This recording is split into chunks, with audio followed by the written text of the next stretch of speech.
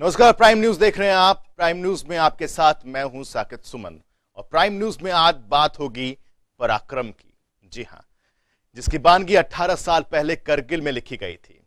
1999 में, मई का महीना, जब पाकिस्तान की तरफ़ से हिंदुस्तान का भरोसा तोड़ा गया था।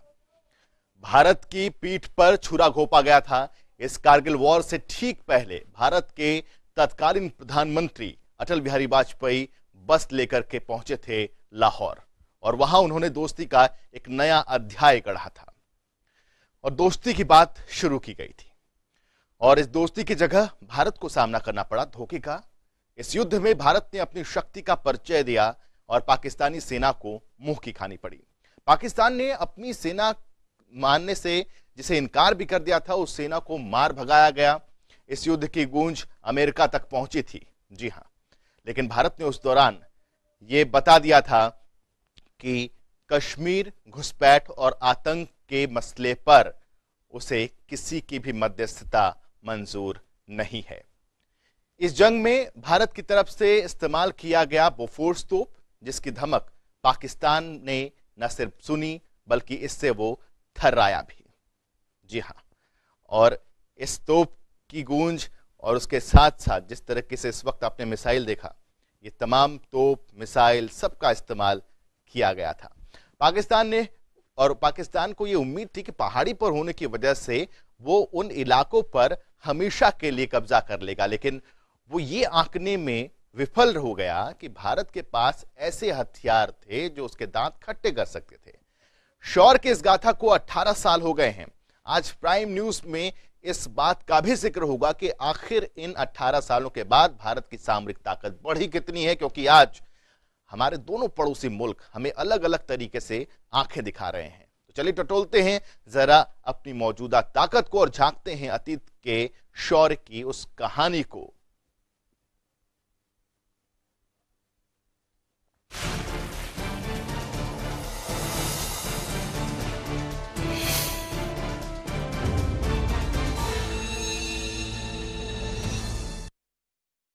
सबसे पहले आज पराक्रम में हम बात करेंगे कैग की जो रिपोर्ट सामने आई, उसके बाद बातों ही बातों में बहुत तरह की बातें निकली और यह भी बताया गया कि किस तरीके से जो भारत में हथियारों की तादाद है, हथियारों की जो संख्या है, जो असलाह है, जो बारूद है, वो किस तरीके से इस पर बयानों का सिलसिला भी शुरू हुआ। जरा देखिए आप।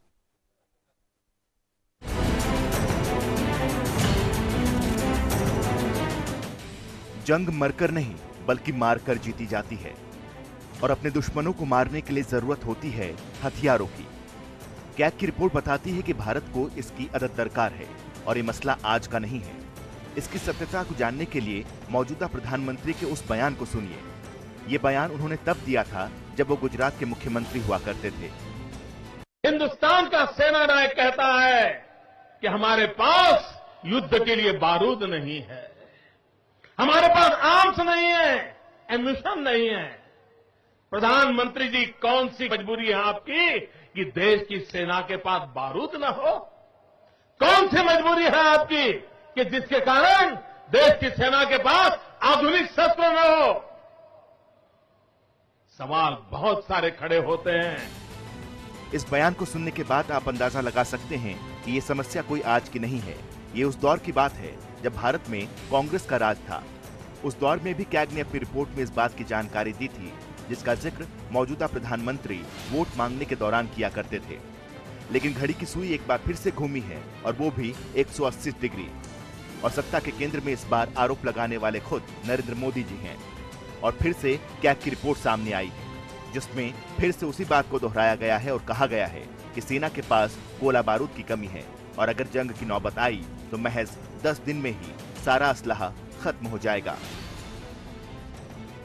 हालाँकि कैग की रिपोर्ट को समाजवादी पार्टी के सांसद रामगोपाल यादव ने राज्यसभा में उठाया तो रक्षा मंत्री अरुण जेटली ने साफ़ कर दिया, ऐसी कोई बात नहीं है, देश के पास असलाह की कोई कमी नहीं है। Particular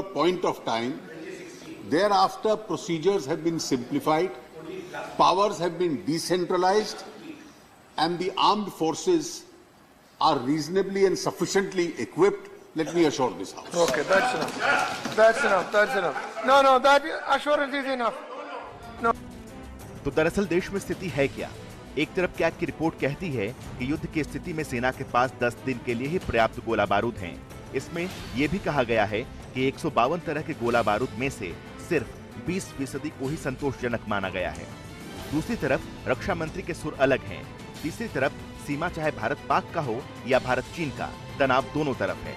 इससे इतर एक स्थिति ये भी है कि भारत खुद अपने लोगों से ही उलझा हुआ है। तो ऐसे में समझना यह भी होगा कि अगर युद्ध जैसी स्थिति बनी तो हालात कैसे होंगे। Bureau report, Janata TV.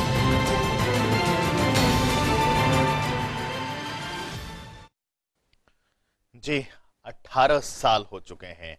और 18 साल के बाद अगर हम पीछे मुड़कर देखते हैं तो शौर्य दिखता है, महसूस किया जा सकता है। एक छोटे से ब्रेक के लिए रुक रहे हैं प्राइम न्यूज़ में। जल्द लौटेंगे बहुत सारी और भी ऐसी बातें हैं जिन पर बात होंगी ब्रेक के बाद।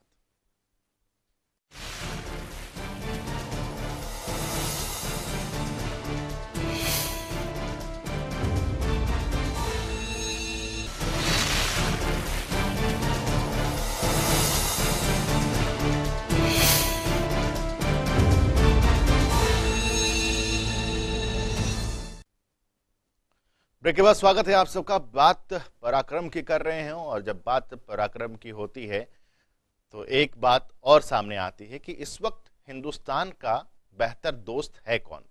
एक तरफ़ अमेरिका तो दूसरी तरफ़ इसराइल की बात सामने आती है। जी हाँ इसराइल हिंदुस्तान का दोस्त अभी जिस तरीके से सुर्खियों में आया, इससे पहले 1999 में भी इसराइल ने करगिल युद्ध में बहुत बड़ी भूमिका निभाई थी। शायद इस बात की जानकारी आपको है नहीं। इस रिपोर्ट को देखिए आप। इसराइल का कारगिल से कनेक्शन।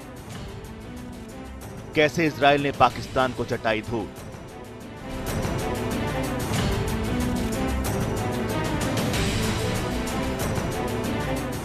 कारगिल युद्ध जिसके ज़रिए भारत ने शौर्य की एक ऐसी गाथा लिखी, जिसके बारूदी हर्फ आज भी पाकिस्तान में धमाका कर रहे हैं। लेकिन इस युद्ध के दौरान भारत को एक ऐसे दोस्त का साथ मिला जिसने पूरे युद्ध की रूपरेखा ही बदल दी। करगिल युद्ध के समय इसराइल भारत का भरोसेमंद साथी साबित हुआ था। युद्ध में इसराइल ने भारत को ज़रूरी सैन्य सामग्रियों की आपूर्ति की थी। भारत को लड़ाई के लिए मोटार गोला बारूद और लड़ाकू विमानों के लिए लेजर गाइडेड मिसाइलों की ज़रूरत थी। जब करगिल की चोटियों पर पाकिस्तानी सेना के जिहादी घुसपैठियों की शक्ल में भेजे जा रहे थे, तब पाकिस्तानी सैनिकों ने बर्फीले मौसम का फ़ायदा उठाकर अपना डेरा जमा लिया था और वहाँ से वो भारतीय सैनिकों को निशाना बना रहे थे। इन चोटियों पर बैठे पाकिस्तानी सैनिकों की घुसपैठ को तुरंत बेदखल करने का एक ही रास्ता था, उन्हें हवाई हमलों से तहस नहस करना। लेकिन भारतीय लड़ाकू विमानों में सटीक निशाना लगाने वाली शस्त्र प्रणालियाँ नहीं थी। तब इसराइल ने इन सभी सैन्य सामग्रियों की आपूर्ति बिना समय गवाए भारत को दी। कहा जाता है कि उस वक्त इसराइल के ऊपर कई देशों का दबाव भी था कि वो करगिल युद्ध में भारत की मदद ना करे। लेकिन इसराइल ने इन दबावों के बावजूद भी भारत की मदद की। करगिल युद्ध ने भारत और इसराइल के रिश्तों को और मज़बूत कर दिया था। करगिल युद्ध ने इसराइल को भारत का करीबी देश बना दिया था। मानो इसराइल ने दुनिया भर को संकेत दे दिया था कि वो आतंकवाद कतई बर्दाश्त नहीं कर सकता। इसराइल आज भी भारत को रक्षा समेत कई क्षेत्रों के लिए आधुनिक तकनीक दे रहा है। जिस गर्मजोशी के साथ इसराइली प्रधानमंत्री नेतन्याहू ने पीएम मोदी का स्वागत किया था और भारत को अपना मित्र बताया था। उससे साफ़ पता चलता है कि इसराइल हमेशा से भारत की मदद करता आया है और इस दोस्ती के नए आयाम अभी लिखे जाने बाकी हैं, क्योंकि प्रधानमंत्री नरेंद्र मोदी और इजरायली प्रधानमंत्री के बीच के रिश्ते जग ज़ाहिर हो चुके हैं और उम्मीद है कि आगे आने वाले वक्त में हिंदुस्तान के पास ऐसे कई हथियार होंगे जो अपने दुश्मनों को नेस्तनाबूद करने के लिए काफ़ी होंगे। Bureau report, Janata TV.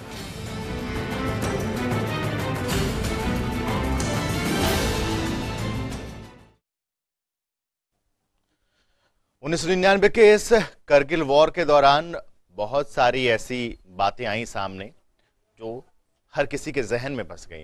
लेकिन उनमें से एक चीज़ थी जो आज भी लोग उसे याद करते हैं और वो है बोफोर्स तोप का इस्तेमाल। पहली बार उन्नीस सौ निन्यानवे में बोफोर्स तोप का इस्तेमाल हुआ था, जिसने इस जीत में एक अहम भूमिका निभाई थी।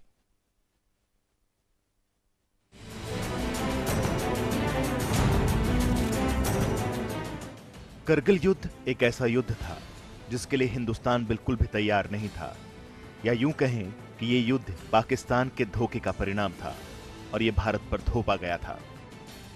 करगिल के युद्ध में याद करने के लिए बहुत सारी अच्छी और बुरी बातें हैं, लेकिन करगिल की जंग को बोफोर्स तोप के लिए भी जाना जाता है।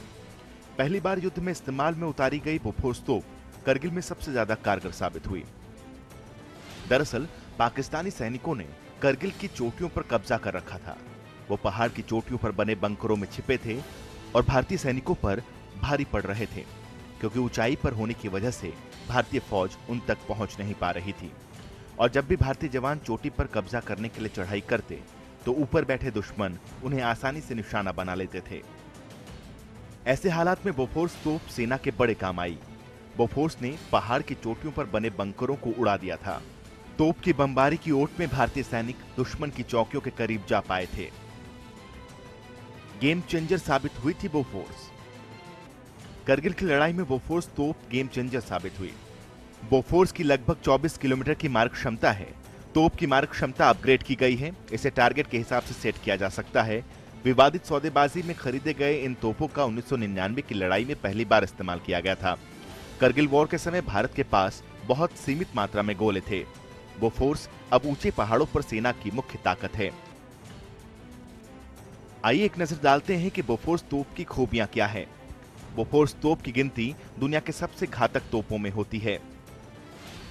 बोफोर्स तोपें 27 किलोमीटर की दूरी तक गोले दाग सकती हैं। हल्के वज़न के कारण इसे युद्ध भूमि में कहीं भी तैनात करना और वहाँ से ले जाना और लाना आसान होता है। 155 मिलीमीटर लंबी बैरल वाली यह तोप एक मिनट में 10 गोले दागने की ताकत रखती है। तोप की सबसे बड़ी खासियत इससे माइनस थ्री डिग्री से लेकर 70 डिग्री के ऊँचे कोण तक फायर करने की है। इस खासियत से यह तोप पहाड़ी इलाकों में बहुत उपयोगी साबित होता है। बोफोर्स में अड़सठ हॉर्स पावर के दो इंजन हैं। हर इंजन की फ्यूल कैपेसिटी 22 लीटर है। रात में भी टारगेट पर हमला करना आसान हो जाता है। पहाड़ में दुश्मन से लड़ने के लिए बेहतरीन हथियार है। लोकेशन का पता चलने पर इससे निशाना साधा जा सकता है। इस तोप की खरीद से जुड़े विवाद के बाद सरकार ने तोप बनाने वाली कंपनी को ब्लैक लिस्टेड कर दिया था। इस वजह से काफ़ी वक्त तक गोले और अन्य सामानों की आपूर्ति नहीं हुई। लेकिन अब सरकार ने बोफोर्स को काली सूची से हटाकर इसके रखरखाव पर ध्यान देना शुरू कर दिया है। बेशक बोफोर्स की खरीदारी में दलाली के आरोप लगे, लेकिन आज तक, यानी 28 साल के बाद भी इसमें कोई गिरफ्तारी नहीं हुई है। लेकिन इस तोप की वजह से भारत को करगिल के जंग को जीतने में आसानी हुई, और जान माल का कुछ कम नुकसान हुआ। Bureau report, Janata TV.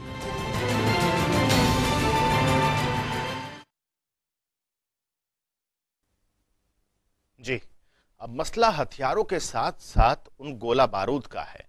क्योंकि जिस तरीके से गोला बारूद की अगर हम बात करें तो उसमें अब कैक की एक रिपोर्ट सामने आती है और कैक की रिपोर्ट ये कहती है कि महज दस दिन का असला हमारे पास है। इस रिपोर्ट को देखिए।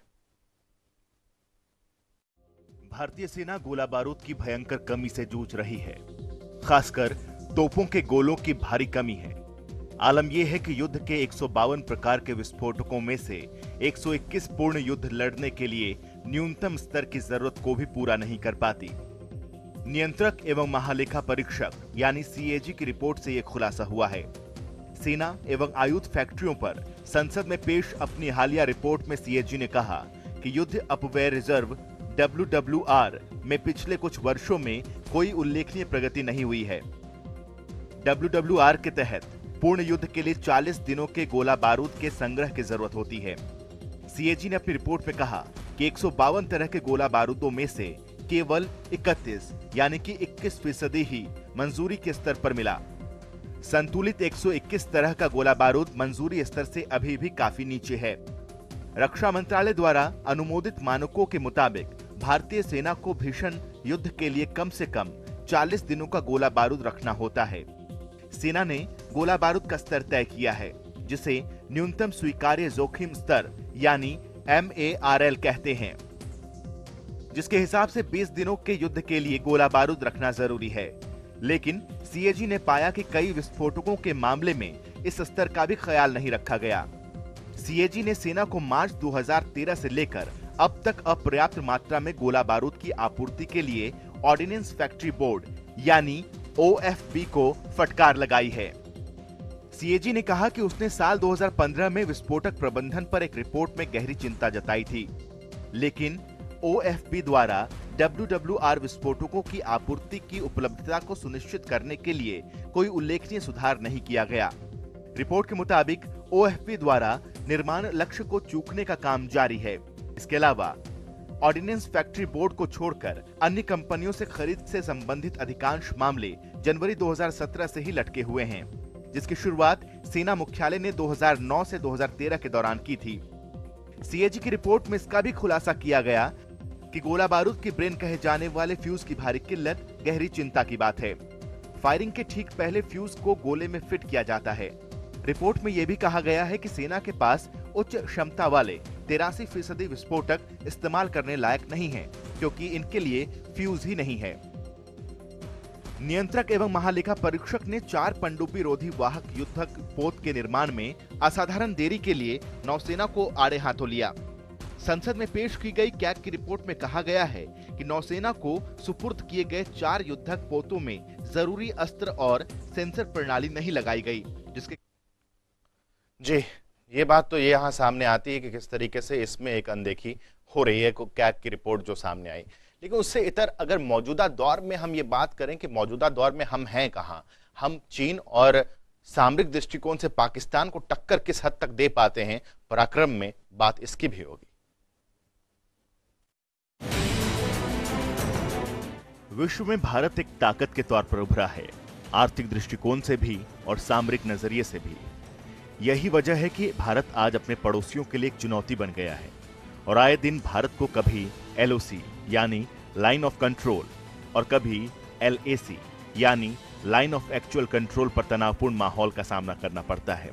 कभी पाकिस्तान घुसपैठ के ज़रिए हमारी आंतरिक शांति को बिगाड़ने की कोशिश करता है तो कभी चीन अपनी चौहद्दी को लांघ कर हमारी सीमा में घुसने की कोशिश करता है और हमारी ज़मीन पर अपना हक जताता है, जिसको लेकर सीमा पर हालात अक्सर बिगड़ जाते हैं। आइए जानिए जरा कि भारत सामरिक लिहाज से इन दोनों देशों के सामने टिकता कहाँ है, या ये दोनों देश भारत के सामने टिकते कहाँ हैं। बात अगर सैनिकों की की जाए तो भारत के पास तेरह लाख पच्चीस हज़ार सैनिक हैं तो चीन के पास तेईस लाख पैंतीस हज़ार सैनिक हैं। वहीं पाकिस्तान के पास छह लाख बीस हज़ार सैनिक हैं। बात अगर रिज़र्व सैनिक की करें तो भारत के पास 21 लाख तैतालीस हज़ार रिज़र्व सैनिक हैं। चीन के पास 23 लाख हैं तो पाकिस्तान के पास 5 लाख पंद्रह हज़ार हैं। रक्षा बजट की बात करें तो भारत का रक्षा बजट तिरपन अरब डॉलर का है। चीन का रक्षा बजट 161 अरब डॉलर का है। और पाकिस्तान का रक्षा बजट 9 अरब डॉलर का है। सैन्य रैंक की बात करें तो भारत की फौज रैंक नंबर चार पे आती है चीन तीन नंबर पर और पाकिस्तान तेरह नंबर पर। बात अगर टैंक की करें तो टैंक 4,426 भारत के पास हैं चीन के पास 9,150 हैं तो पाकिस्तान के पास 2,924 हैं। बात अगर आर्टिलरी की करें तो भारत के पास 290 हैं चीन के पास 1,170 और पाकिस्तान के पास चार सौ पैंसठ। रॉकेट प्रोजेक्टर्स की अगर बात करें तो भारत के पास दो हैं चीन के पास 1170 है और पाकिस्तान के पास एक है। जी ये स्थिति है मौजूदा दौर में कि हिंदुस्तान को आँखें दिखाने वाले मुल्क ये समझ लें कि पराक्रम के दृष्टिकोण से हिंदुस्तान किसी से पीछे है नहीं। तो ऐसे में अब दुश्मनों को मुंहतोड़ जवाब दिया जा सकता है। बशर थे असलाह भरपूर हो। पेशकश में आज के लिए बस इतना ही। दीजिए इजाज़त। नमस्कार।